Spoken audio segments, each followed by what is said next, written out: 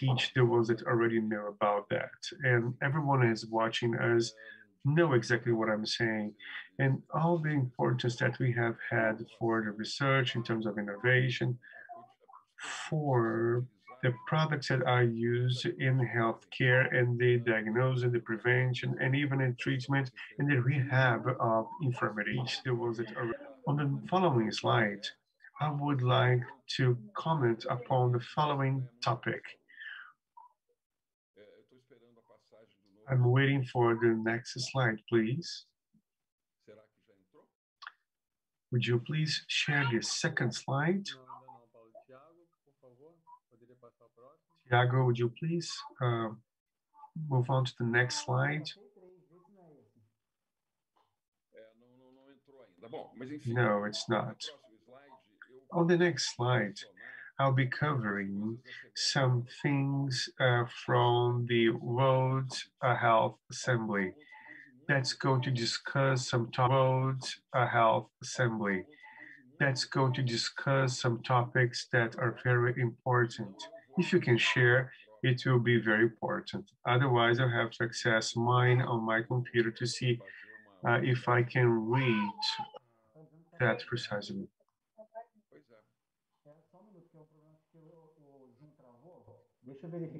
I believe we had a problem on Zoom.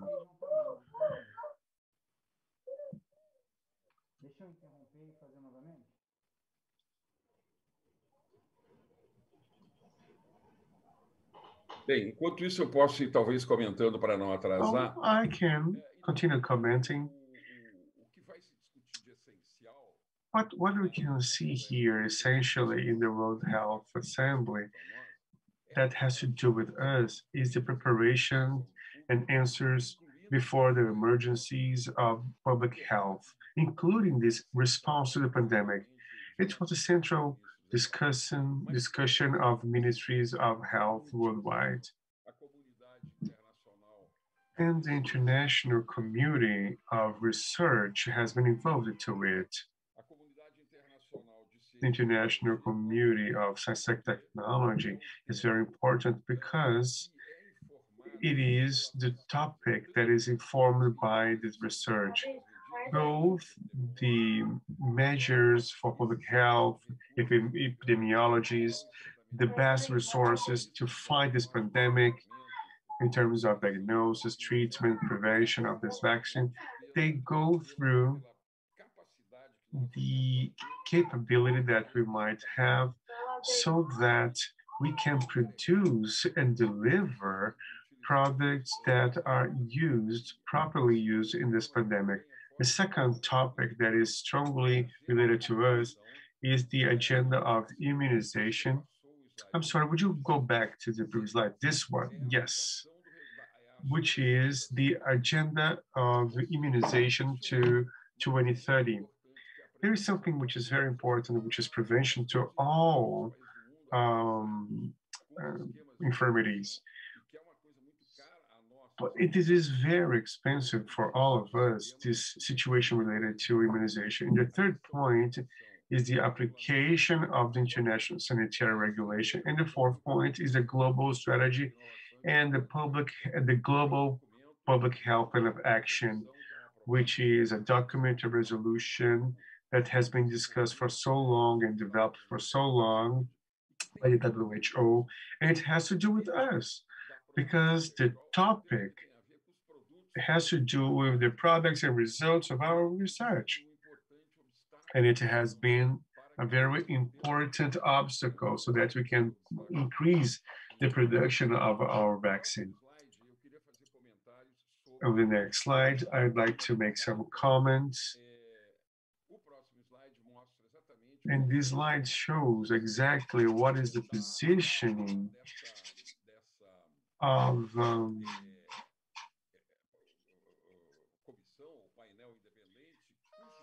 that is an independent panel which is COVID-19, let's make it last the last pandemic. That's a desire, that's a, a, a dream that we have got for our, for our future. And in fact, we would mitigate any possibility of a new pandemic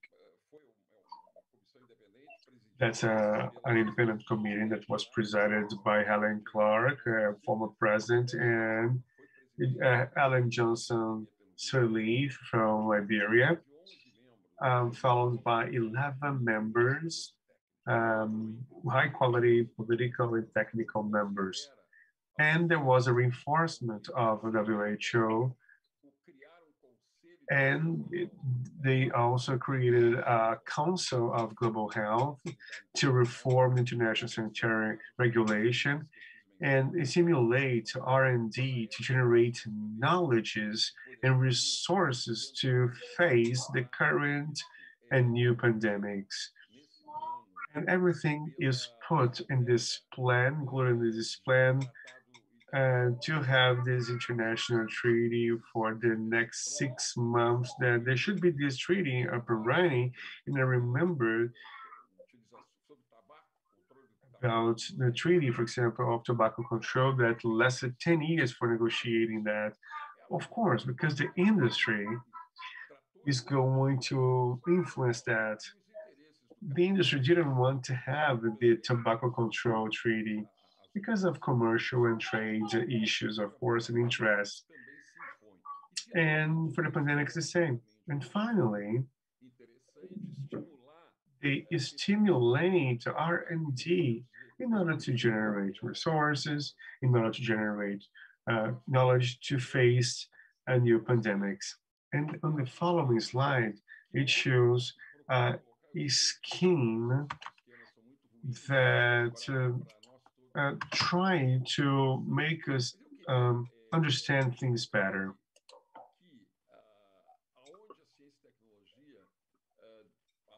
I would like to add that where we have science, technology, research, development, and innovation could contribute not only to fight this pandemic, but also the future pandemics that threaten our planet major research group is included into what we would call, uh, we can call um, research in systems, understanding the organization, the structure of services and better schemes that can connect primary care with intensive care.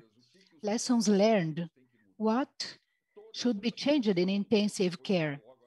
The whole investigation which comes afterwards clinical investigation and trials investigation, development and assessment of the proper therapeutics, morbidity, mortality, how they are distributed, and which were the major causes that led uh, the ill to die. Trials of diagnostics, therapeutic trials, and vaccine trials. And these results should also be transported into practice. On the other hand, we have a whole field of the basic research of biomedical and biological research with a huge contribution which they may provide if we all use, in this case, what we usually call the concept of One Health. We cannot, and our dean mentioned this morning the importance of interdisciplinarity.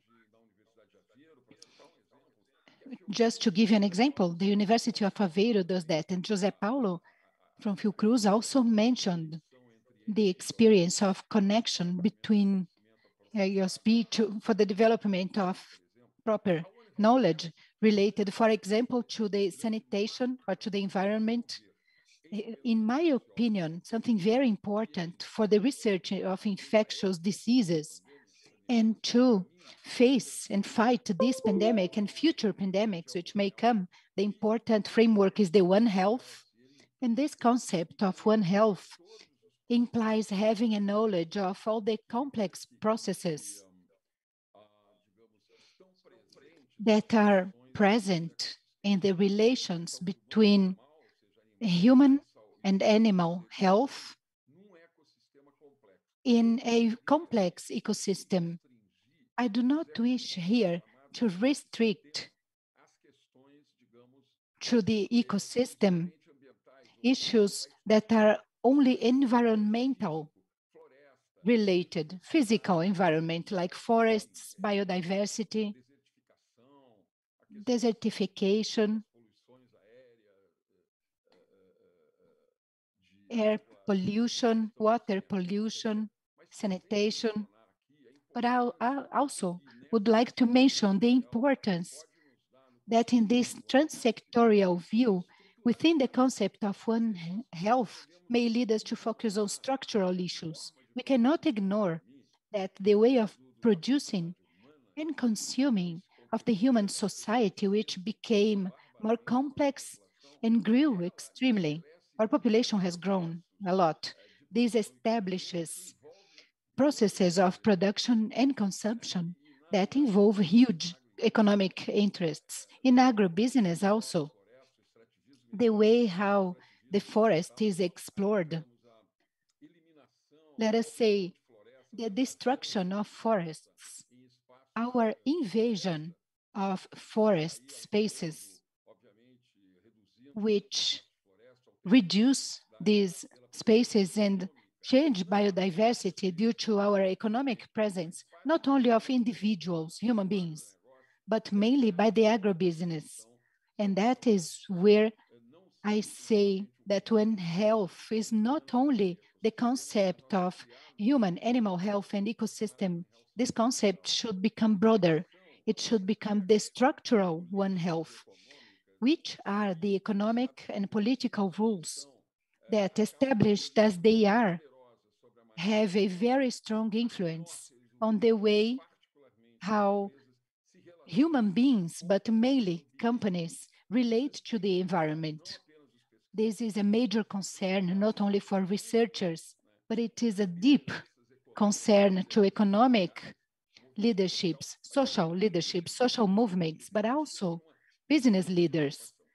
There is now a huge concern, and we are researchers, and we want to work in an interdisciplinary and transdisciplinary manner.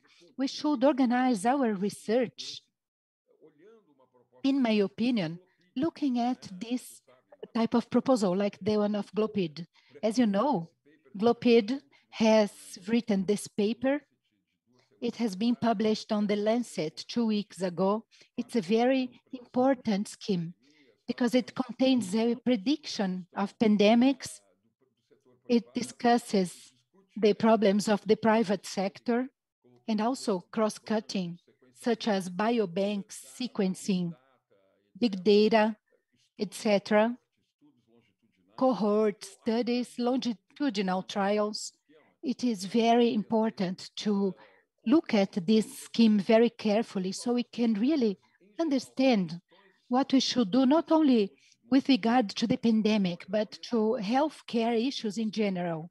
We should have a multidisciplinary approach. This scheme prepared by GLOPID is very important. Please take a careful look at it and I don't want to go beyond the time I have. I have 23 minutes. I don't want to make anybody late, so I should be careful with my time. I will now talk about the international cooperation of Fiocruz. We have an idea of structural cooperation in healthcare, which is a south-south cooperation, but also north-south, which is not only the idea of donor and receiver, uh, but it is an idea of partnership. And it is structuring. Why? Because when we make a careful assessment of an international cooperation project, we can see that we have grown and we helped the partners who uh, belong to this cooperation to grow. This is what we call a structuring cooperation. It should not focus on one aspect only. And if it is, this small aspect should be seen and understood, and it should dialogue with the whole that explains all the issues related to healthcare in society, the contribution of biological sciences, clinical sciences, and public health science, and also social sciences applied to health, and the structural One Health may be a good scheme to understand. Fiocruz, well, I saw the presentation of our team, it was amazing.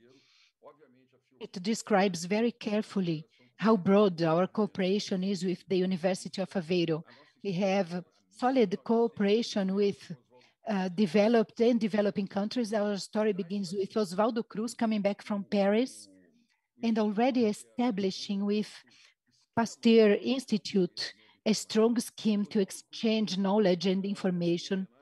Oswaldo Cruz has beautiful uh, bronze plates close to Zé Paulo's door with lots of thanks to the global community, special, especially the Latin American one, because of the cooperation between Oswaldo Cruz and partners from Argentina, Uruguay, and many other countries back then. Our history with um, Pasteur is a paradigm, and now our cooperation with the European Union, many developed countries of Europe, and the National Institute of Health in the United States is very solid. We are now talking to the NIAID. Antonio Fauci is the leader of a joint project on COVID-19, but prevention of COVID 2021, 23, other COVIDs that might come in the future not only COVIDs, but eventually also other infectious diseases, which is our main focus here at the Foundation Oswaldo Cruz, not only related to biomedical sciences, but also with the other focuses I mentioned before. This is all important for biological, biomedical, and clinic sciences, contributing to public health and sci social sciences in all their dimensions and social and economic policies. This is what should uh, guide research at the Oswaldo Cruz Foundation as the Dean mentioned about the University of Aveiro. And to finish, I would like to mention the importance of the international cooperation at Fiocruz. It becomes stronger year after year. And for this year, we have a very important scenario because the pandemic, unfortunately, is forcing us to work monothematically, let's say. But we should seize the, this opportunity and we should increase our international cooperation, even though we will eventually begin working, focusing on the COVID pandemic. The world needs research in healthcare, not only to prevent other pandemics, but also to solve many other health problems that are a real threat to our world in several dimensions, either by diseases or uh, environmental, social, and economic issues, or because of the response which can be given by the healthcare system. And this is very important. So uh, public health researchers are extremely important. I do hope I contributed, and I thank you very much for giving me the opportunity to talk with this amazing community of the IOC that has been giving us such solid, important examples of commitment with the international cooperation of Fiocruz with Brazil and the global community. Thank you. Muito obrigado, Paulo. Nós que agradecemos. Thank you very much, Paulo. We are really thankful because you shared us their broad view on international cooperation. You are positioning our team and all the participants of this event on the importance of these high-level panels focused right now on fighting COVID-19. Thank you very much. I understand uh, clearly that you focused on your time. Thank you very much, Paulo. Questions will be asked at the end of our panel. We have two other presentations right now. The next presentation deals uh, with cooperation opportunities and potential between Brazil and Nova New Zealand. We have 15 hours difference because of time differences, we cannot count on a live presentation of the supporters of this initiative.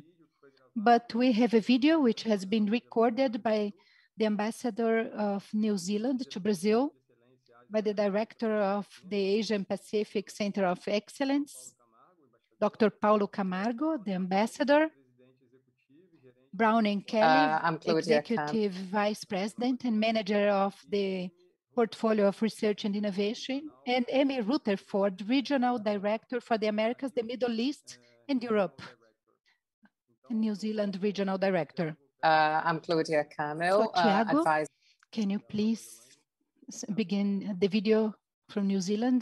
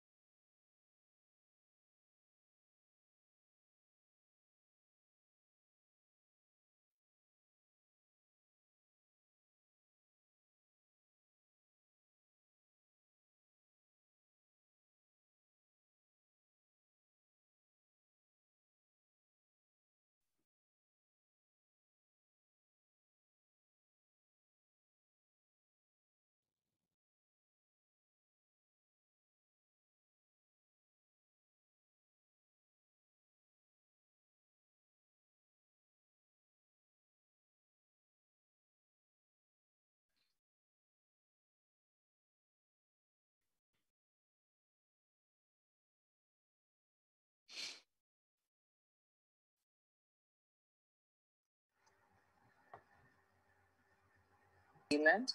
We had the opportunity to visit some Uh, I'm Claudia Camel, uh, advisor. Eu sou Cláudia Camel, assessora do vice-diretor de pesquisa, desenvolvimento tecnológico e inovação no Instituto Oswaldo Cruz, Fiocruz Brasil.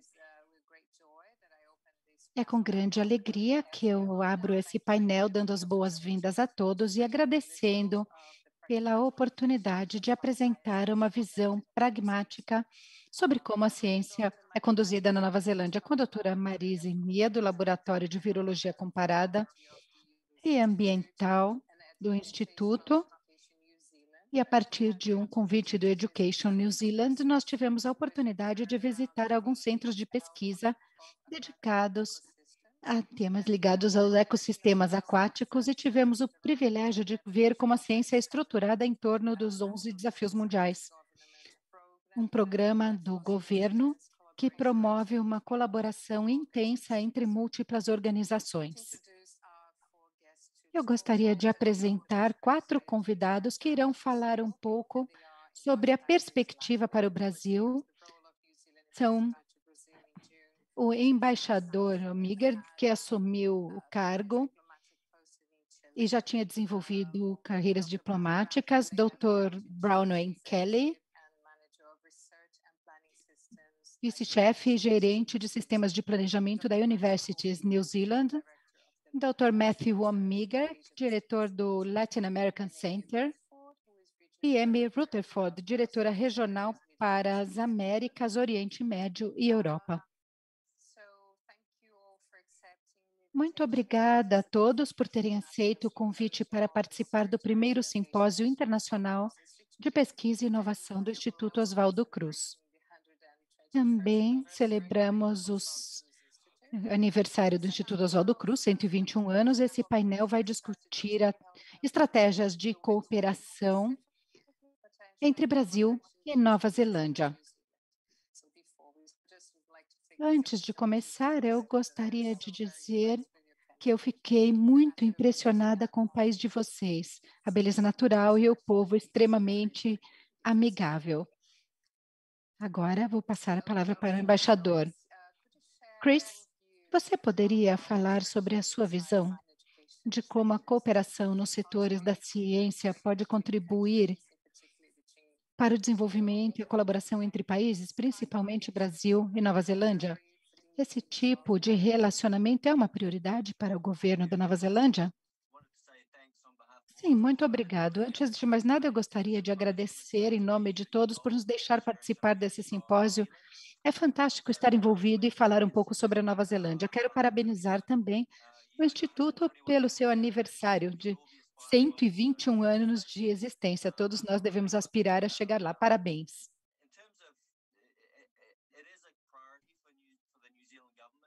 Para o governo da Nova Zelândia, é uma prioridade desenvolver conexões com outros países.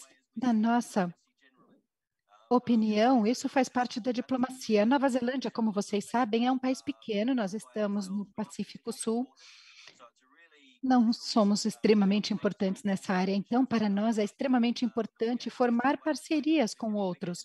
Ganhamos relevância, aumentamos o nosso impacto no mundo como resultado dessas colaborações. a good example of that, I think, is one of the issues we face here in New Zealand is meeting our climate change. A lot of methane gas in our agriculture. Um, so New Zealand yeah. has a global research alliance um, on agriculture. We were working with many countries around the world, including Brazil, um, um, so collaboration um, part of our international work. Specifically on Brazil, um, uh, 2018. Um, education and science collaboration is already a really strong relationship, but there's real potential for it to, to develop further. Um, in my time in Brazil, prior to the pandemic, we had a really strong exchange of delegations in both directions New Zealand going to Brazil and Brazil down to New Zealand. Um, um, really strong interest on the part of New Zealand institutions, um, the universities and the research institutions and finding. Então, temos muitas universidades,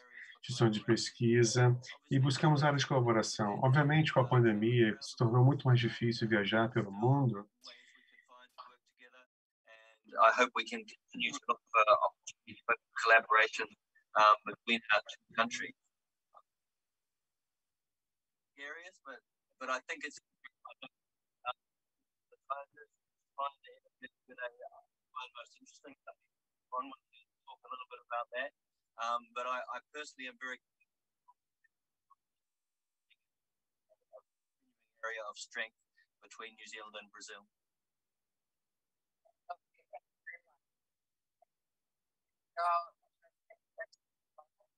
Um, okay, so could you talk a little about how connectivity and interaction between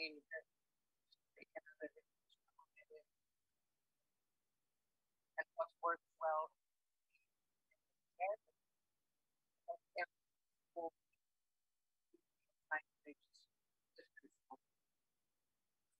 Thank you. And on behalf of the opportunity to talk to you all today.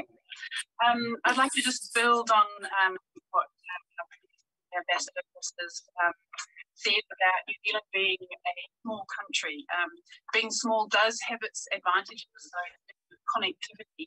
Um, you know, we, we, are a very small country, 5 million people, eight universities, a handful of Crown Research Institutes, handful of independent research institutes, and regional research institutes, but not a very big um, uh, in, in, terms of our research capacity. However, what that does mean is that we are very well connected to one another. Everybody knows everybody in New Zealand. Um, so that's, uh, you know, one thing that certainly I'm very proud of um, in New Zealand. And there are several formal ways um, in which the research organisations, including universities, um, collaborate with one another and with businesses and And those include um, things like every university has um, a research office and a commercialization office. And these offices are really the um, researchers and industry. So it's a two-way flow of exchange through the research and commercialization offices. Um, we also have a, an amazing organisation called KiwiNet, and this okay. is um, an organisation that was formed by 18 of the research organisations in New Zealand who have voluntarily come together to share resources, to pool funding, um, and to really work collaboratively to uh, maximise the economic benefit of innovation in New Zealand. Um, That's wonderful. And um, there are also government incentives to collaborate, which I'd like to, to talk about because, as we know, um, incentives and government policies drive behaviour. And we're very fortunate in New Zealand that our government is very supportive of uh, research collaborations. So, um, for instance, we have the New Zealand Research um, and Development Tax Credit, so New Zealand um, businesses can get a 15% tax credit on any research and development uh, work that um, that's undertaken by research providers in New Zealand. So that's a real incentive to um, drive businesses and industry to engage uh, with our research providers and in R&D. Um, we also have, as you mentioned before, um, the national science challenges. You, you wanted me to talk to, to those. Um, and so we have 11 of those in New Zealand. Now, what they are, they are large um, uh, programs, collaborative programs between businesses, non-government organisations, universities, and Crown Research Institutes um, that are designed to address New Zealand's greatest science-based problems, uh, like, for instance, the Deep South Deep South National um, Science Challenge um, looks at um, how the oceans and, and, changes near the Antarctic in terms of ocean research is going to impact on New Zealand um, and New Zealand's climate and its economy. Um, so those national science challenges are, are, held in very high regard in New Zealand and they're long-term programs. So we are looking, you know, 10, 8 to 10 year investments um, by government in those long-term issues. Um, the other um, key area of collaboration um, in New Zealand is around um, the Centres of Research Excellence, um, which is also a government funded um, program. And we've got 10 of those starting in July of this year. And the majority of them are around environmental, but there's also several looking at health and well-being um, of New Zealanders. And these are also inter-institutional programs um, that um, are, are long-term funded, so seven years of, of, funding, which really gives us as researchers the opportunity to uh, get momentum in terms of our um, research and to aim towards outcomes, not just outputs, but outcomes uh, for New Zealand. Okay. Um, I can talk a little bit about um, what works well. Um, your second uh, yes, question, please. in, in, New Zealand. Um, well, obviously, um, uh, being small, as, as we mentioned, means that our collaborations work um, really, really well. and the fact that we do have government policies and incentives to collaborate. So I think that's an area we can be very proud of. Um, we also have a very, very high performing university sector uh, in New Zealand. We perform really well on the international um, stage, and most of our universities have a very, very broad um, spectrum of research expertise. So we can do research in any number of, of areas, which is a huge strength um, for New Zealand. Uh, the other thing that I think um, makes New Zealand really attractive to researchers overseas, to businesses overseas wanting to work with um, New Zealand, is the fact um, that we're rated um, constantly over the last 10 years one of the least corrupt countries um, in the world on the uh, Corruption Perception Index, which I think makes us really attractive um, to our international partners uh, wanting to engage with us. Um, and then lastly, your, your third um, question about what areas, I guess, are uh, potential um, areas of collaboration between Brazil and New Zealand. I think um, in that regard, we need to look at our common areas of, of interest. Um, and obviously, both countries being um, largely agricultural economies, um, I think there's there's potential there to look at um, agricultural productivity, uh, land-based um, research, as well as research in our oceans and um, fisheries, for instance. Mm-hmm. so, being an agricultural economy, both both countries, I think, is a, an area we can uh, uh, take advantage of um, in terms of research. Um, there's also, you know, before COVID 19, the world, including New Zealand, including Brazil, um, were worried um, about a number of things, um, uh, and and those things have not gone away. So, as as we mentioned um, earlier, climate change is a, a, big area of research interest um, in New Zealand. We've also got you know major health concerns. Um, we've got an aging population. Um, I understand it's similar in, in Brazil and certainly in the, the rest of South America. So uh, a lot of research is being directed um, uh, in terms of you know healthcare for um, our aging population, um, and of course sustainability is a big thing. Uh, we've got the United Nations Sustainable Development Goals, uh, which we're all working towards, and sustainability is, is a key focus of a lot of research um, programs um, in New Zealand. So I hope that answers uh, all three questions. Yes. Uh, what what really impresses me me when I was there, like uh, researchers in, in the research centers and things that were carried out in the uh, consulate in, Sao Paulo is, is the spirit of collaboration uh, everywhere in New Zealand. Is, is like when you said the, the companies sort of voluntarily came together to, to sponsor, to support research. That is, is such good news. How does these things happen? You know, can you talk a little bit about these? uh, I think uh, again it uh, relates back to the fact that we are a small country, and um, you know we realise that there's only five million of us, and we need to look after one another. Um, we've got um, a government at the moment that's very focused on on well-being of New Zealanders, so we're all looking out for one another, and I think that stimulates natural um, uh, collaboration. Uh, I think the the other thing really that I've noticed, for instance, during COVID nineteen, is that um, it's actually brought us even closer together uh, because you know instead of having infrequent, large in-person uh, meetings, we've ended up having lots of short, frequent um, Zoom meetings. And so that's actually brought us closer together because we all realize we're in the same boat. Um, and equally with our international collaborators, we recognize the impact of COVID-19 on them too. And so I think um, in some in some strange way, it's actually brought us all together. So there's that dynamic as well that's that's constantly in play at the moment. Okay, thank you very much. Thank you, Bronwyn. Uh, I would like to address my next question to Matthew. Uh, so it goes, uh, you work to enhance New Zealand's economic, trade, political, and cultural relationships across Latin America, although largely around science. So, however, could you talk a little about how you engage new students, all sorts of students, across the cultural, social, economic, economic spectrum, including indigenous, of course, around opportunities in Brazil and across South America, please.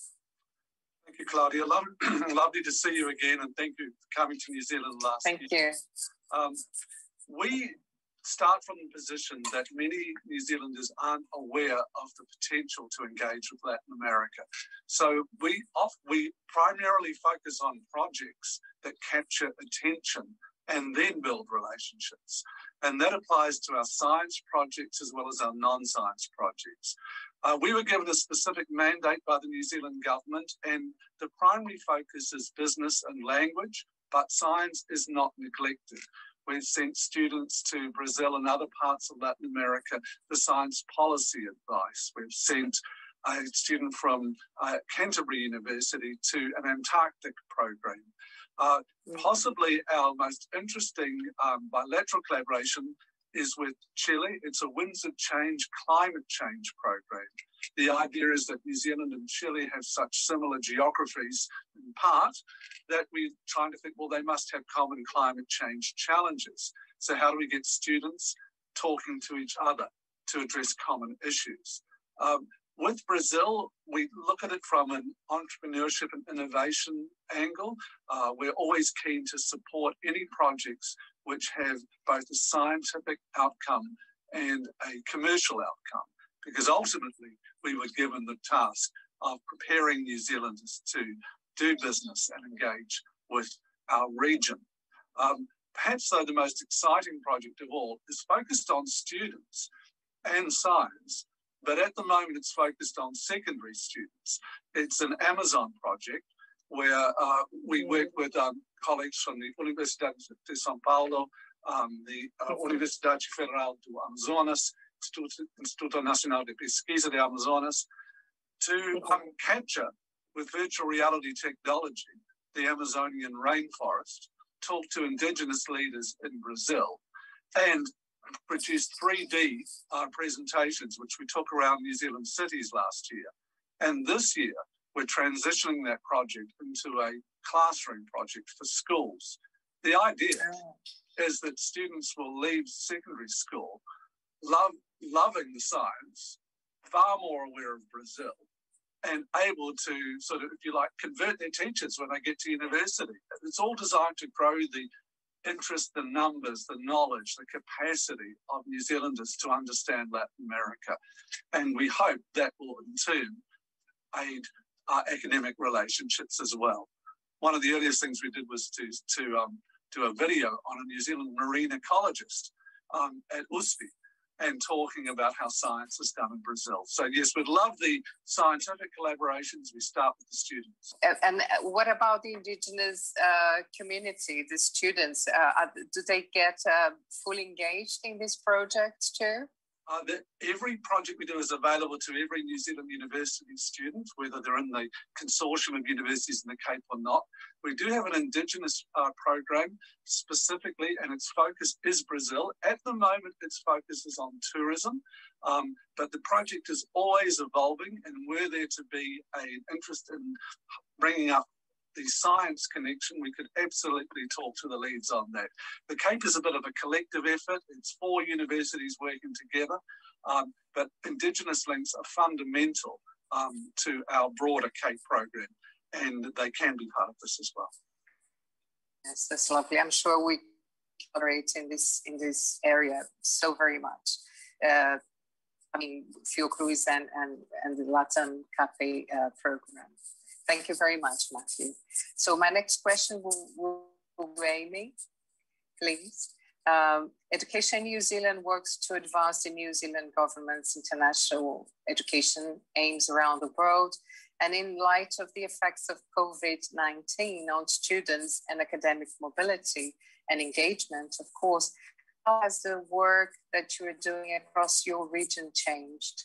In the last couple of years, um, prior to the pandemic, Education New Zealand had taken a focus on developing and strengthening our relationships across the education sector, both in Brazil, but more broadly across Latin America as well. So we had delegations coming from Brazil to New Zealand, like you were on, um, Claudia, and then we also had delegations of um, New Zealanders going into uh, Brazil as well, academic cooperation seminars as well um, on both sides. So when the pandemic um, reached the world last year. Um, and it, it's interesting to think that the delegation that you were on, Claudia, was the last one that came into New Zealand yes. the borders closed, which seems mm-hmm. a long time ago. But we were, um, we already had this sort of small but solid network to build from in terms of academics on both sides who were already engaging um, with one another. And in terms of how things have changed, I think what we do hasn't really changed in terms of the way that we focus on um, developing, uh, helping to develop engagement between the New Zealand and, say, Brazilian side. But how we do it has entirely changed. So, like everyone else, we have uh, moved on online into, into the digital space to continue that yes. collaboration and cooperation. But I also recognize that it must be strange for um, people who are um, watching this in Brazil to see us sitting in a room together so close to one another so not, but so we're straddling this interesting um, kind of time in New Zealand. Where in New Zealand, we are working in pre-pandemic ways. Collaboration is still happening in person, an office, in a lab is still happening. But we're also um, straddling that digital um, divide um, through, with our um, collaborators um, outside of New Zealand as well. So we, it's a very interesting time for us and moving into that digital space. And in terms of um, ways that we've changed what we're doing, uh, last year we um, created a program called Kōrerorero, Conversations That Matter, okay. to, um, to have uh, groups of New Zealand academics having these conversations around issues that matter, sustainability, education, international education, agriculture, agricultural technology, those kinds of uh, uh, topics. And we use that as a way to stay connected while borders are closed. And we started that in Latin America, and we had um, strong participation from people from uh, Brazil as well. But we've expanded that out across my region.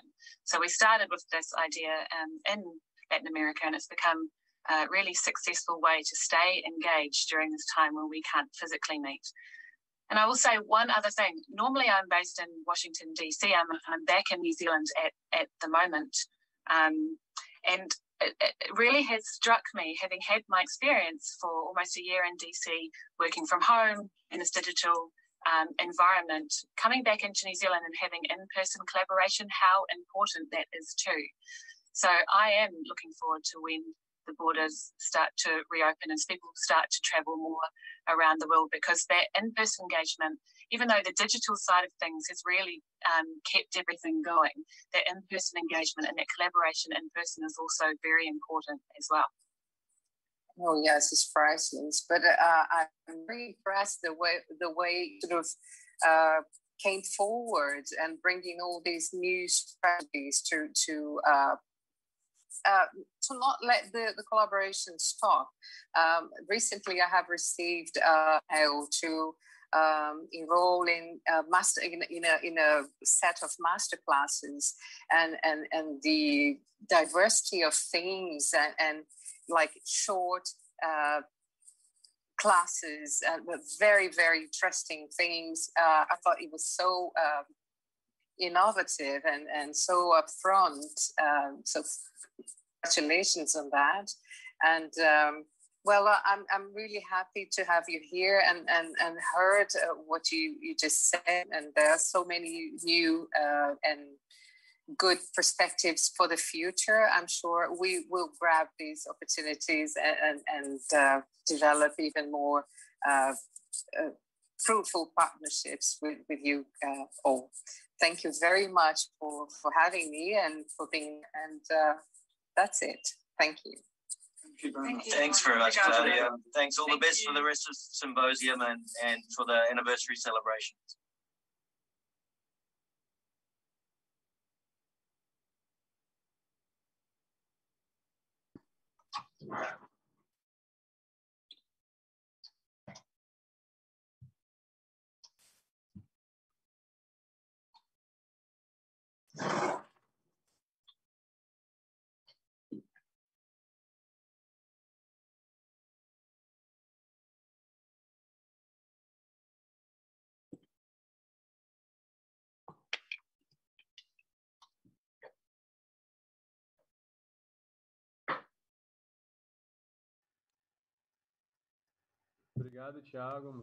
Thank you, Thiago.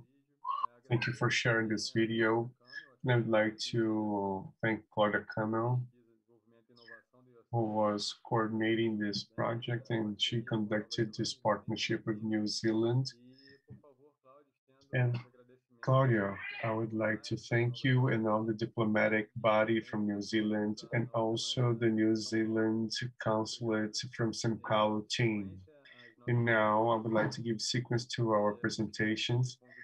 And I would like to invite Professor Dr. David Rezende, um, who is a professor at the School of Technology and Management of Águeda at the University of Aveiro. And he's going to talk about the potential of, of cooperation in Brazil from the University of Aveiro. So please, Dr. David, you have the floor. And after your presentation, we are going to have a Q&A session. Please, you have the floor, Professor David. Thank you very much. Uh, now, I have no video. Oh, now I can share it. Thank you so much. Well, I'm going to share some slides so that the audience can understand better my presentation. Let me see if I can do that simply. Okay. Well, let me share that with you all. Just one more second. All right. Can you see that? All right.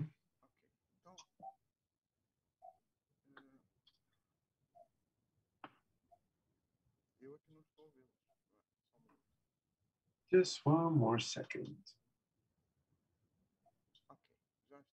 Ok, voila.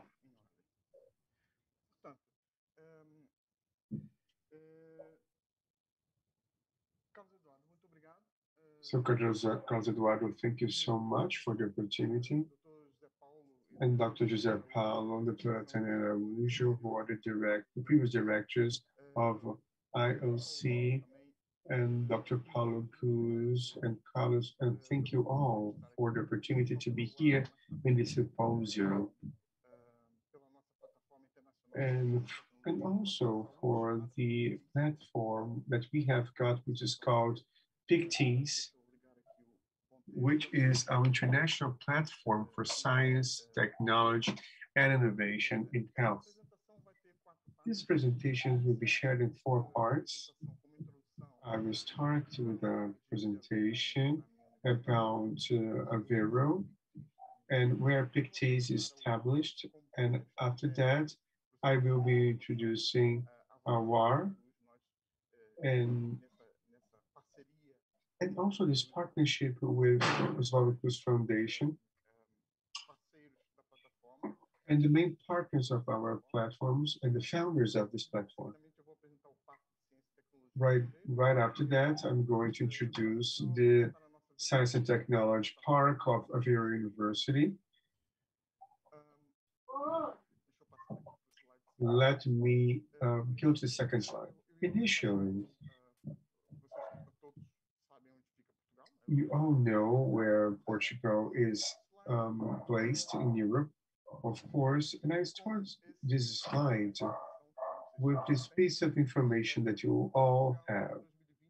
Portugal in 2020 was considered the strong innovator by the European Innovation Scoreboard, along with France, Germany, Austria, Belgium, Slovenia,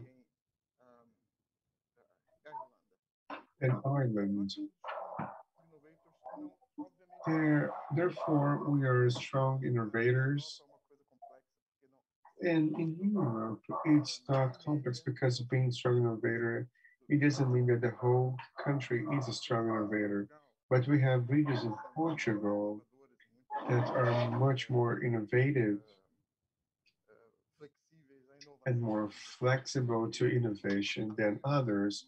Aveiro is one of the most innovative regions of our country, along with other ones.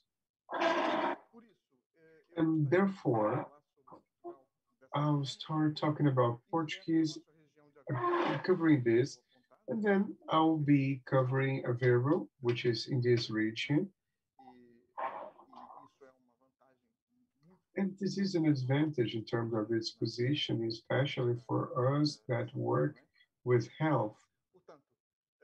Therefore, Aveiro well, has its clinical academic center, which is Egas Moniz, as you can see on the slide on the left-hand side, has the opportunity to integrate our PET platform in the central region of Portugal. And I'm here talking about something which is very, very new. And our Dean, Paulo Jorge, was talking to you this morning, which is exactly about this academic, clinical academic center that counts on many institutions from our healthcare system, from north to the center of the country. And as we are in the center of everything in this axis, Braga, Porto, Aveiro, Coimbra, we have a great advantage for being here in the scientific center and also in terms of knowledge. This image, as you see on the left-hand side, of our um, School of Science and Medical Science Department, the Clinical Academic Center won't be here. It will be another site with these images just to show you our aptitude that we have got with this new drive of the clinical academic center and how we can get benefited from this strong relationship with the European Portuguese investment. The Aveiro uh, Clinical Academic Center is not only about this, we are a very strong center uh, with regards to technology. Aveiro is one of the most advanced cities in terms of technology in Portugal. And also, if we think about Europe, it's very modern, modern and innovative. We are very integrated to technology. Then the projects that we all uh, have contact to, these projects of the 21st century, they require to have more and more technology, and that's why we have this tech city concept with its four pillars but I'm going to show only two pillars of these axes. And these axes are, you know, based upon this digital transformation. We'll be covering two of these pillars, these four pillars. This is just an image of our internal team where our platform PICTES is based. And we have two um, founders of this platform, with the University of Aveiro and Fiocruz. One of the pillars of Tech City is a Living Lab, which is a living lab of infrastructure that aims to be a space for testing innovative solutions. And this living lab is spread in many areas, as you can see on these dots. You can see the map of the city center of Aveiro. I, we are here. I live right here. This is the restaurant site. all these dots that you see are part of the living lab and the facilities that uh, uh, we have equipment that is connected to Tech City. We understand that these are one of the pillars uh, that we have got. And we have the second one that is Aveiro 5G Challenges, which is a cooperation program to recruit talent uh, with technology companies. And the goal is to attract and secure business and talent uh, in Aveiro.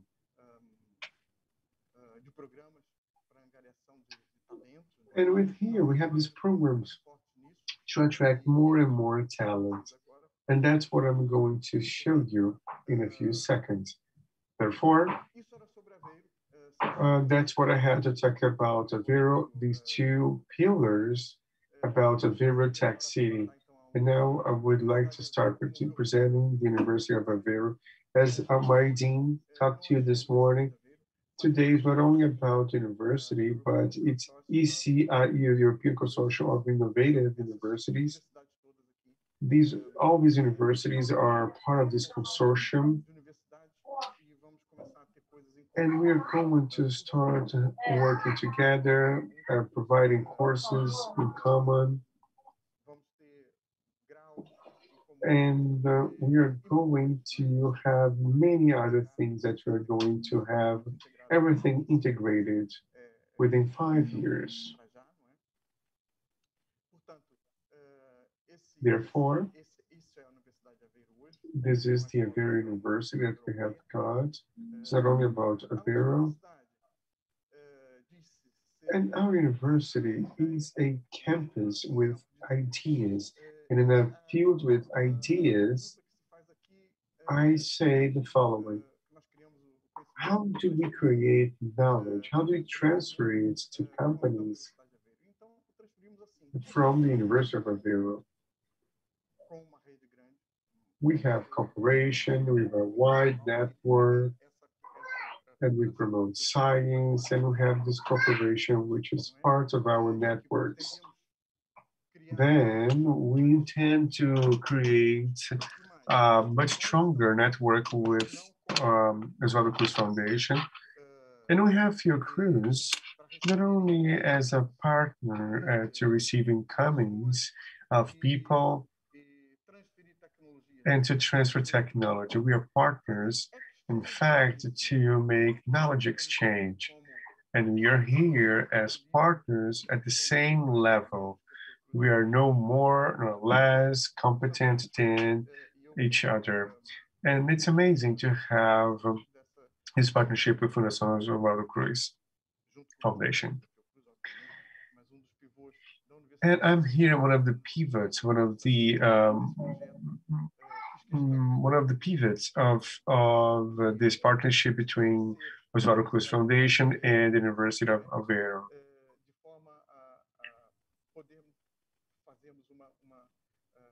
I I can say that we have established a very strong partnership that is beneficial to both parties. We have already signed the agreement and we are here in the Science Park uh, in Aveiro and it's already happening. And for sure, it's going to be a great success for all of us, not only for us to receive investigators from Fiocruz, uh, but also to receive uh, researchers from, from Fiocruz um, uh, Research Innovation Technology Department. And together, we will uh, start to part other partnerships at the same level. Thus, how do we create knowledge and transfer that from the university? Well, I say that this is a very wide network here in Europe, and we want to connect our network to uh, uh, to Oswaldo Cruz Foundation's network as well. On top of it, we have an amazing campus, and I will be showing you in a few seconds. We promote science, ranging from primary to secondary students, education students and other companies and all types of people. So it really promotes science as my dean has already covered this morning. So we have kids from four years of age and we try to format them in such a way that uh, we can bring them to science. And since they are very young children, so since early childhood, we invest in children. And we have this international approach. We have excellence in research, and this is a fact. And this is exactly what we offer in terms of this partnership with the same counterparts of Fiocruz. The University of Aveiro is exactly this image that you see. That's the main campus. We have four campuses. Um,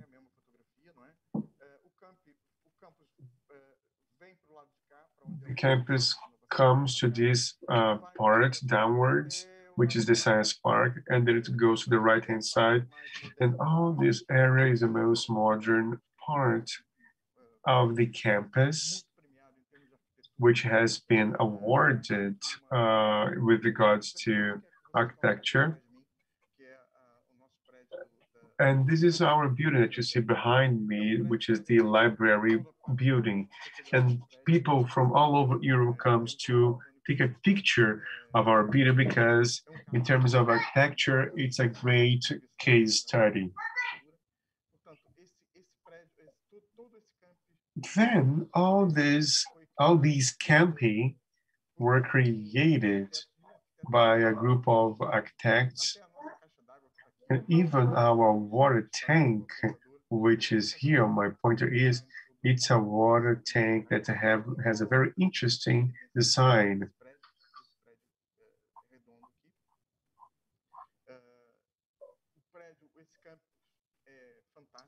This campus is amazing. So it's not only about this, this is the most modern part of the campus. But if you go to the right-hand side, you have biology, electronics department, among other departments. Therefore, the other four camping are kind of close to this area. Personally speaking, I'm a professor of the higher school, higher education, of technology management, business management that is uh, 20 kilometers from here which is also a quite interesting campus. It's not so big, but it's very specific because it's um, a polytechnical branch of our university. Our university itself has some interesting things. Our structure, structure of the university is matrix-based. and we don't have colleges. We are split. We are structured in based upon a matrix um, on, on departments. Over here, you have 20 research units which are not departments. And these 20 research units, they are interdepartment. They have relationship among many different types of departments. And then we have electronics, biology, mechanics that are the same time providing research in these fields. And they are interconnected let's say the mechanics department that is one, one side is here.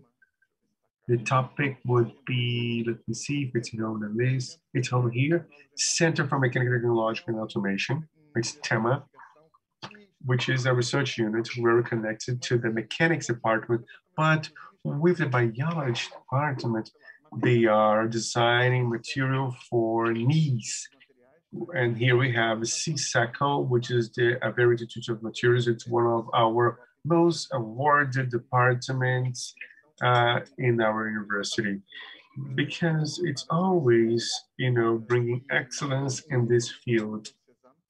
And then we also have CESAM, that's very much awarded. And I have a colleague from Filtris, uh, from Ceará, who's working at CESAM, uh, which is the Center for Environmental and Marine Studies and this colleague has come to Aveiro under the manage under this partnership that we have we have got. Thus, all these ones that are in blue, they are the ones that are more connected to Fiocruz. We have 20 research units, and we have other departments as well most of them, I mean, all of them are excellent or very good. And that's the evaluation that we have got by an European assessment. Now, about Aveiro, we have a doctoral school, which is at UA, at ZOA. And from this doctoral school, I have brought something special, which is the doctoral a doctorate in business innovation, DBI, which is just for companies and for people with at least five years of experience.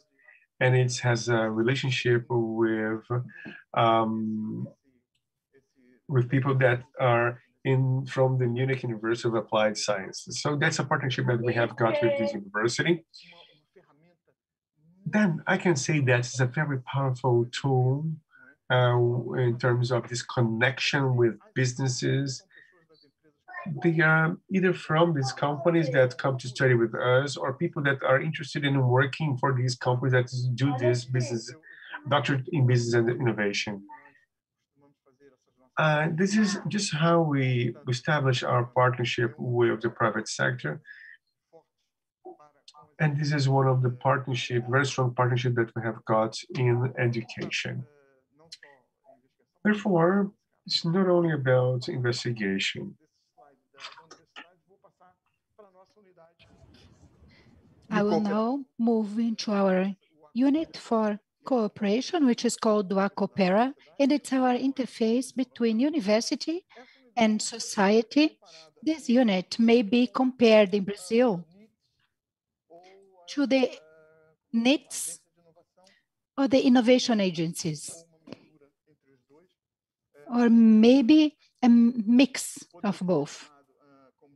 This could be called the Technology Transfer Office, but nowadays we cannot call it that way. Because before the Duacopera, we used to have a unit called UATEC, University of Technology. This was really a technology transfer office. But now we have changed our philosophy and we have something much greater called Duacopera, which uh, incorporates the technology transfer office, but other things of the interface with our entire ecosystem. We have three main pillars, transfer of knowledge and technology, entrepreneurship and intellectual property. These three areas show uh, some figures here from Wacopera. We have, for example, if we talk about transfer of knowledge and technology, we can mention 106 projects we have ongoing with companies. 30 millions of investment with companies, 8 million in projects of uh, transfer of knowledge and technology, 600 collaborators, collaborations with foreign entities, 11 million in revenue and collaborations with uh, foreign entities. This is what we had through Wacopera. And I believe that in Brazil, many times, things go through the university and there is an interface with our investigators and our units that are not really accounted for. We're talking about direct connections established with the investigators through other projects. However, these are the official figures from Wacopera in terms of patents. We have 65 international requests for patents and 69 for national patents, and 157 requests for other type of intellectual property protection. And now talking about uh, entrepreneurs, we have um, uh, support to entrepreneurship, and we have 64 business communications for this year. It's the technology disclosure. 22 startups and 10 spin-offs from our labs at the university. Those units I have shown you a few minutes ago. And we have uh, 3,080 uh, uh, skilled entrepreneurs. Cadu, when please let me know uh, how I'm doing with regard to time, okay? And now moving directly to the Creative Science Park.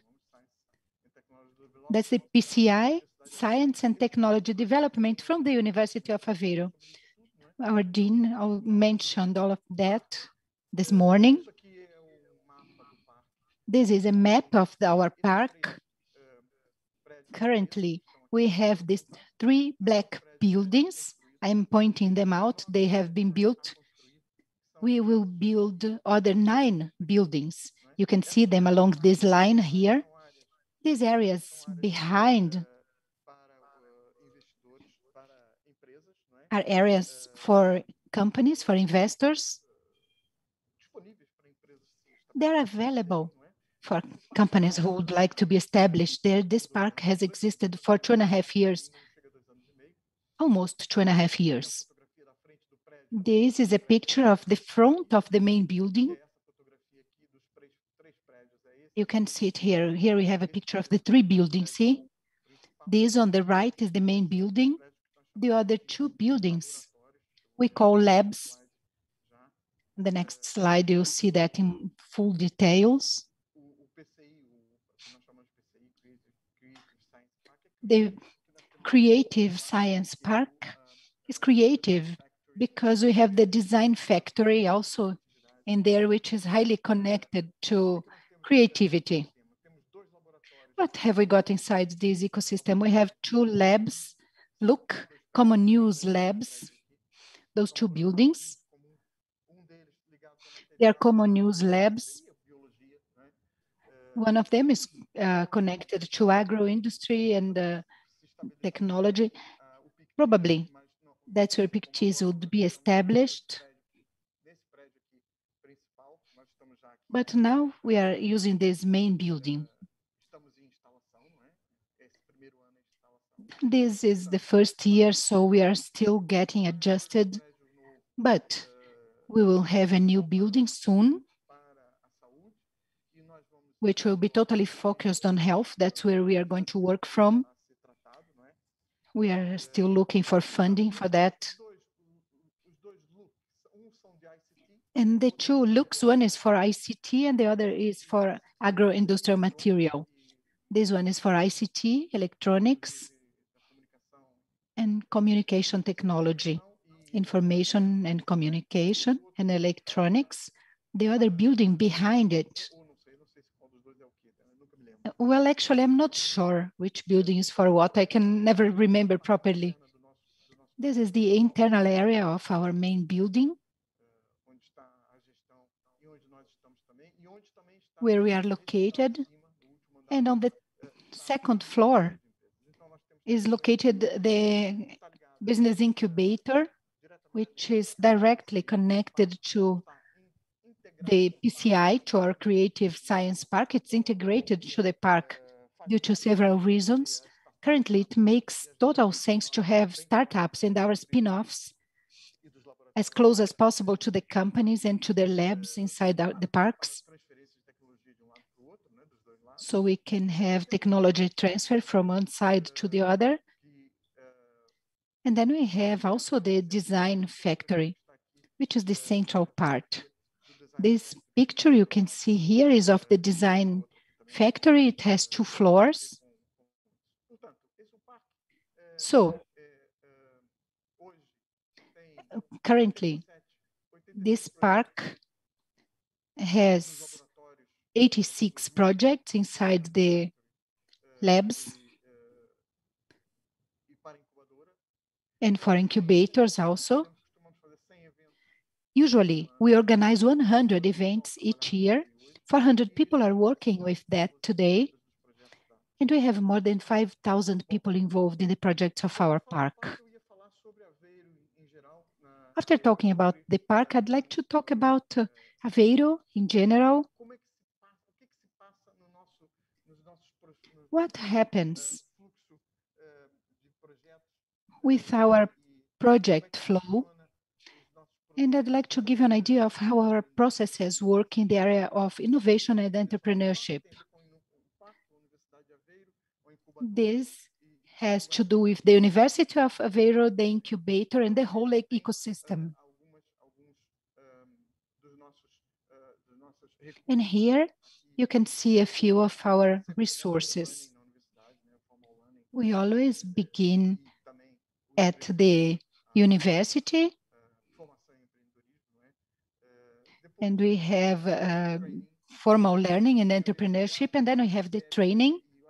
It is connected to CBT and Acelera and Labi.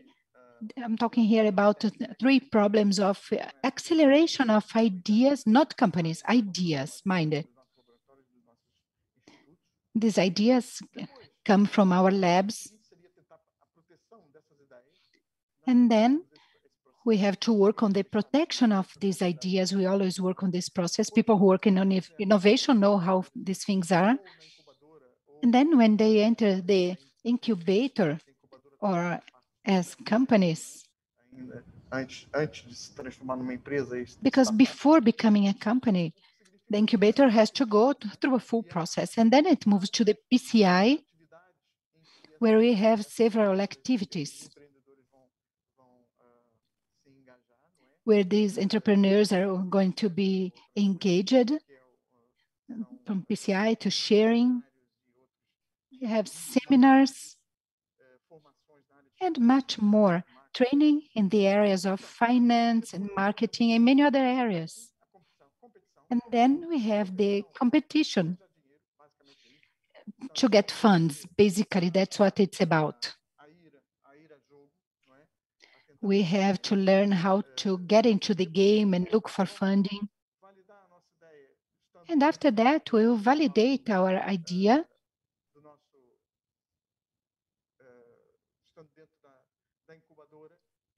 All that remaining inside the incubator we'll try to validate the idea and to accelerate our ideas. And then we have to achieve growth these companies can remain inside the incubator for up to three years. All that is connected to the UA incubator, and the incubator of the PCI is contained in the Aveiro region business incubator. Actually, it's a network of incubators. Why is it a network? Why do we work as a network? Because we have an idea that if it's more for agriculture, for wines, they go to Oliveira do Bairro and Anadia. That is where we have one of the best uh, sparkling wine in Portugal. That's where we have the wines from Bairrada. among other things. Oh, time? Am I running out of time? Well, if it's an incubator, here is our incubator. We have 300 incubators in this region. Therefore, the incubator has these um, specificities, and this is what I should tell you about.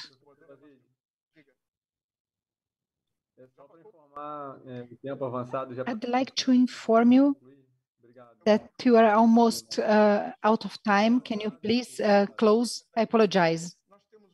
Okay, this is the UA incubator. We have the startup visa and startup voucher. I'm talking about 12 months for a business idea. It's a salary of 800 euros for two people, so they can remain inside the incubator testing their ideas. The startup visa is for people from abroad, international people, so they can also test their ideas inside the incubator. All of that is contained inside our Park of Science and Innovation. Our park is called PICTES. I should be more focused on the PICTES. I will not really have time to tell you about it, but it's the international platform for science, technology, and innovation in health. It's a part of the PCI, it's the soft land of IOC Fiocruz in Europe, and it is the access to science and technology for our institutions. And there is funding from Europe and from Portugal, and it integrates our networks of innovation. So PICTES will now begin with these projects that are included here, vaccines, research and development, fighting multi-resistant bacteria, One Health, the four or zero industry in healthcare and innovation policies. We are here in the center. The PICTES has the advantage of being located in a region and in a city where it is possible to receive funding with ease. And of course, we will seize this opportunity in the Europe horizon for the next years. And obviously, we are now ready to close a project that will receive funding. Well, we hope so, at least. We're testing it.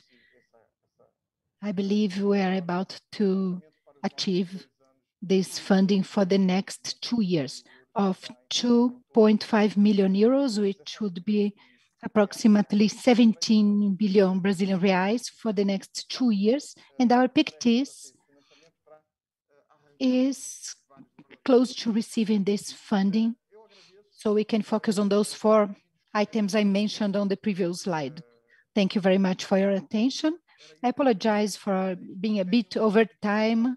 This is what I had to tell you. PICTES is waiting for our partners at Fiocruz and all the partners in our ecosystem. Thank you very much. And here I finish my talk. Thank you very much, Professor David. Thank you for your presentation.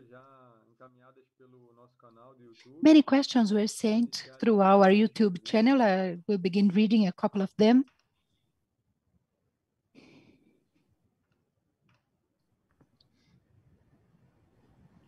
A primeira pergunta para o Dr. Paulo The first question for Dr. Paulo. Dr. Paulo. Dr. Paulo Bus. Sim. É, a primeira pergunta é The first question o doutor analisa o mecanismo chamado is how you assess the mechanism called Other Transaction Authority for the vaccine of COVID-19 in the US. This was developed by the Defense Department, regulated by the National Defense Law. Are you aware of this mechanism and how do you see this tool? Well, unfortunately, I don't think I can answer because I do not know what this is about, and I would thank you very much Maybe the person who asked this question could send me more info. Obrigado, Paulo. É, Thank you very much, Paulo. We can look for additional information so we can try to answer via email. There is no problem. One more question. Nosso canal do YouTube, na verdade, é uma consideração. It came through our YouTube channel. It's actually a statement from Dr. Tânia Araújo Jorge saying that our center will be a first-class partner. I can already anticipate the answer from Dr. Paulo Buss. This partnership is growing and improving year after year. I have no doubts. However, I will give the floor to Dr. Paulo. A Tânia. I don't know if Tânia was here in the beginning. I really emphasized how pleased we were with her election. There was a seminar some time ago with the IOC on international cooperation, and she participated mentioning back then how important this connection of the IOC is, not only with CRIS in order to assist in international cooperation, but also focusing on the idea of uh, working all together in the formulation and implementation of initiatives of international cooperation of Fiocruz. Thank you, Tânia. You can count on me with CRIS if you need us. And we wish you an excellent mandate during the four next years. I don't know if I will resist for that long. At the forefront, because it is really, really tiresome, but I do wish you all the best.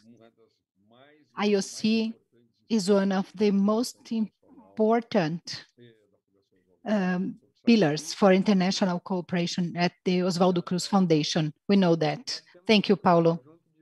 We have here other questions that are more technical and related to the transfer of biological samples according to the new law, the law 14141, which defines the transfer of biological samples to other countries. I believe this can be sent to our technical areas. I'm quite sure they will eh, be more able to answer. I'd like to remind you, Carlos Eduardo, that in this case, the surveillance coordination remains under the rule of our colleague Venancio, Tânia and Marilia Santini.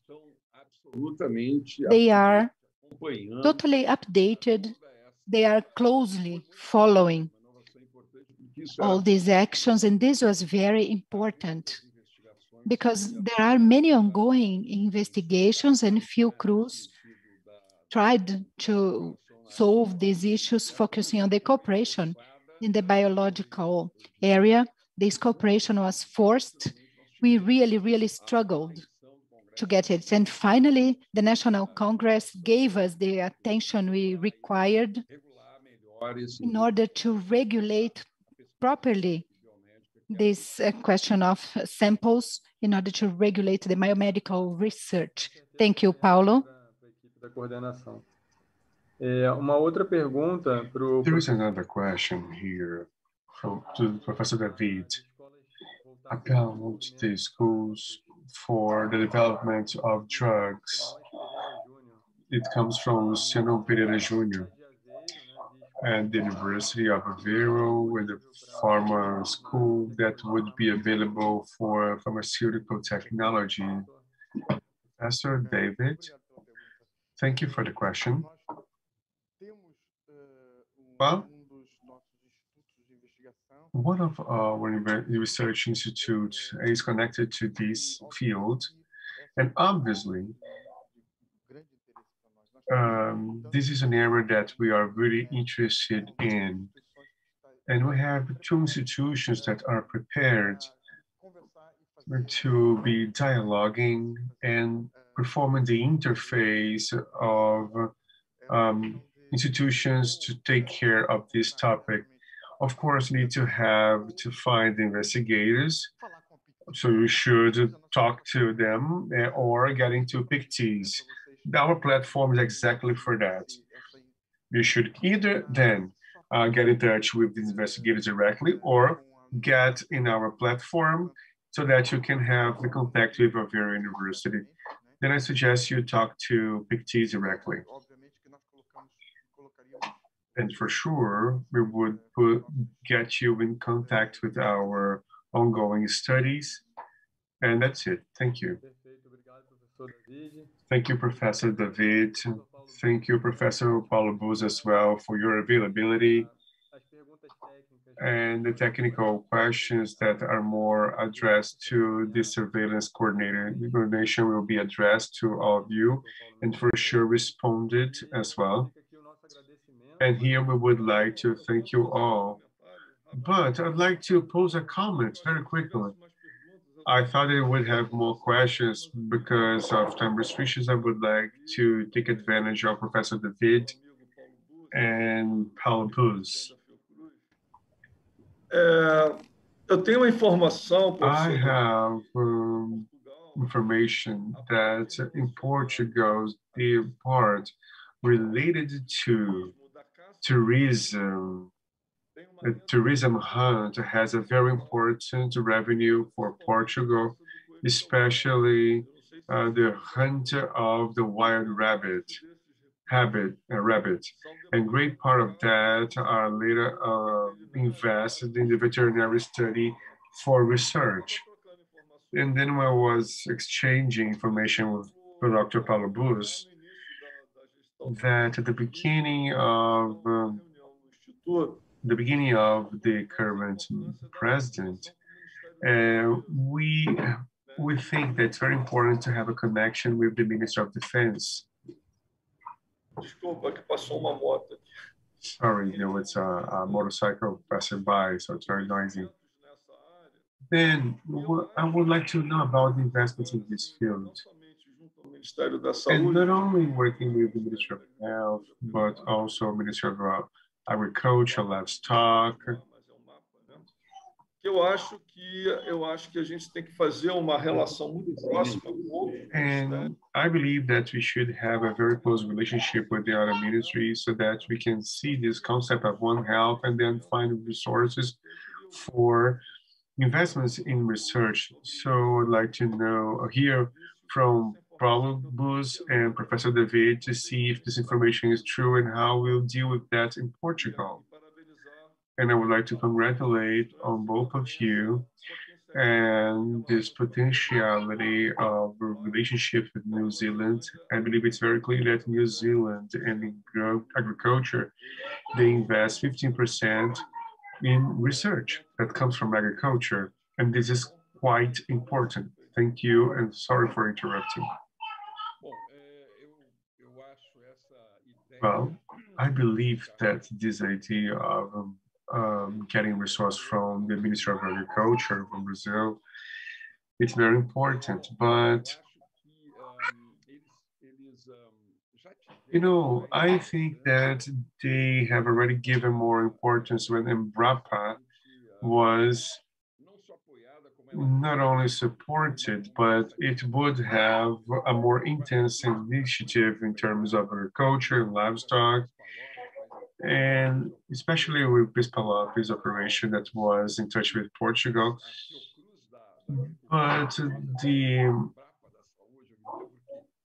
because they are called the Fiocruz of agriculture and we are called the Embrapa of health, I believe that we need to get associated with Embrapa because Embrapa is a public, a state-owned company. It's not an institution like ours. It has got different characteristics in terms of legal issues, but we have a history of a cooperation with Embrapa, and Embrapa has got resources for research. And I believe that this area is very interesting for Embrapa. And it should be guided by um, uh, behind this relationship with the Brazilian Agriculture Research Corporation, which is the Embrapa, the Brazilian Agriculture Research Corporation. And Embrapa has recognized the capability in sequencing and capabilities in animal health. Uh, I have seen recently a beautiful presentation of One Health seminar that Chris has made about someone from Embrapa, which was brilliant.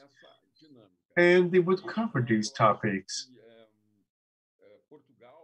I believe that Portugal as a whole should also be interested in this type of relationship, especially for uh, for confined animal uh, production.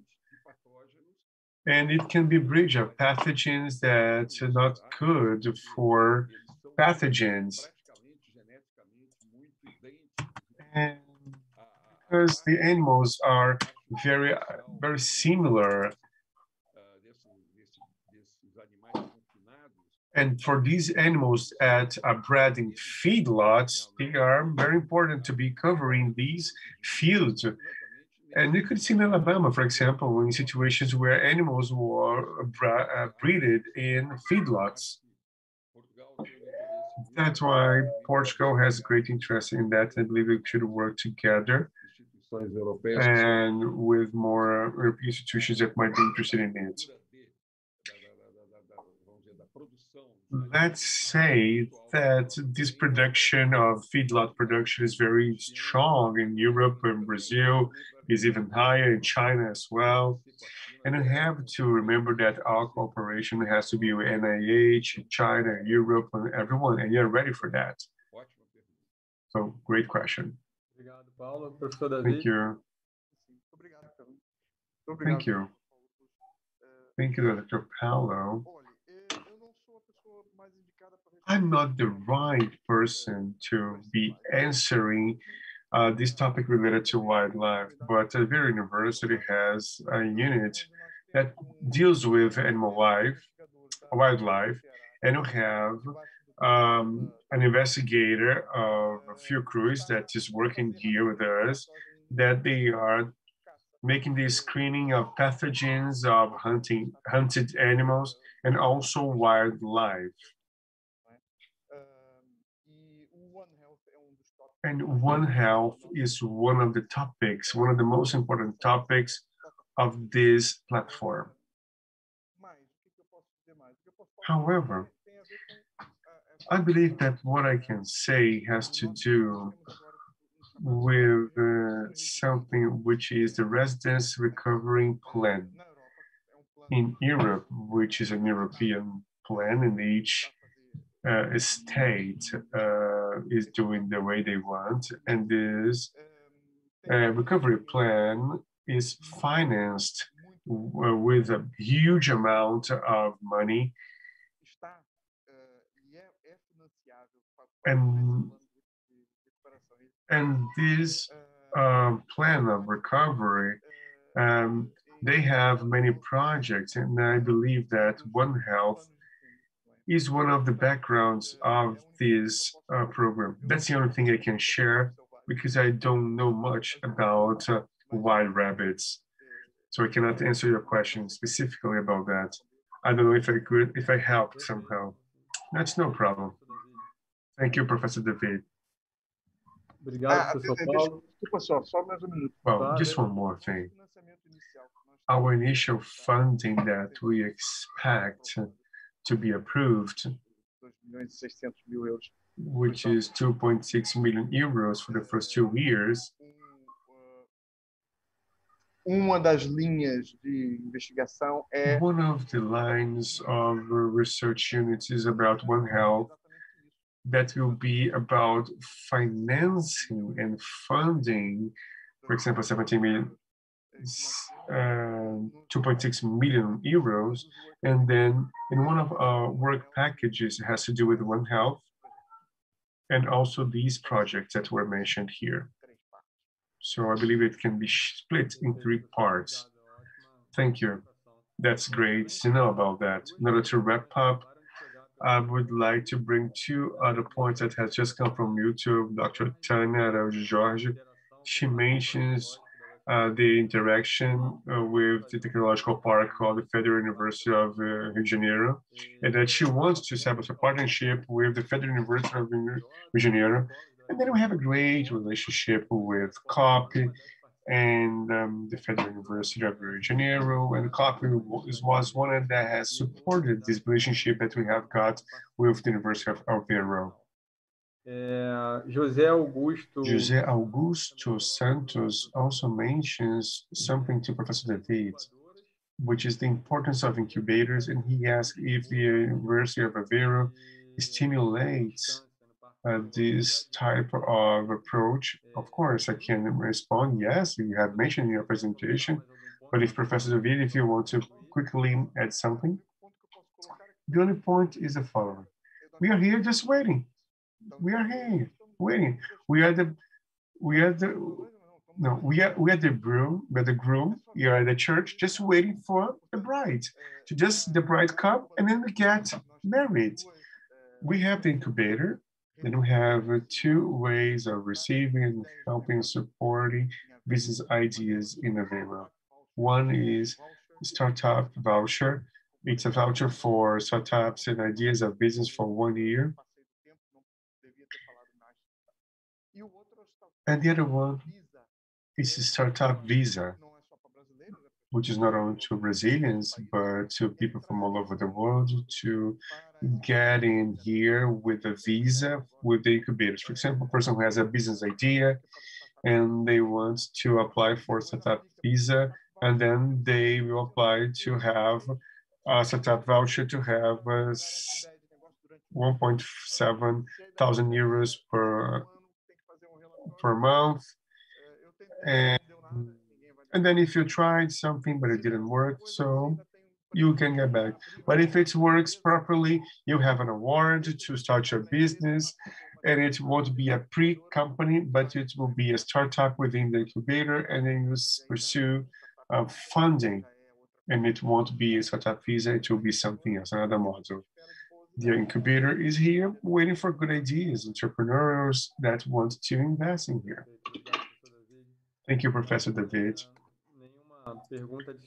We have no further questions in our YouTube channel, and we don't have any other questions from Zoom. I'd like to thank you all for your participation, you dear colleagues, Dr. Jose Paulo, on behalf of the board team. Thank you for the support, and to Chris, Dr. Paulo Buss, Dr. David, and our participants of this panel, and see you all tomorrow. May you have a very good afternoon. Thank you. Bye-bye.